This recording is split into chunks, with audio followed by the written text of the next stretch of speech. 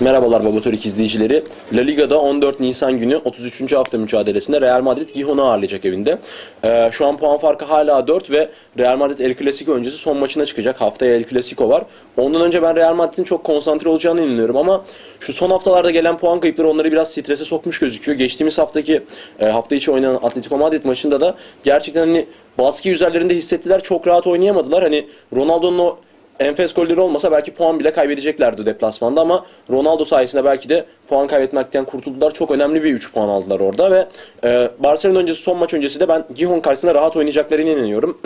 Gijon da zaten puan farkı şu an 7 Villarreal'le ve artık 6 hafta kaldı. Artık çok zor bu puan farkının kapanması Villarreal'le. Hani ben çok büyük bir imkan vermiyorum. Gijon'un oyuncuların da bence çok fazla e, bir şan, şansları olduğunu düşünmediklerine inanıyorum. O nedenle bence Real Madrid bu maçı rahat kazanır. Handikapı aşar. Maç sonu 1 diyorum.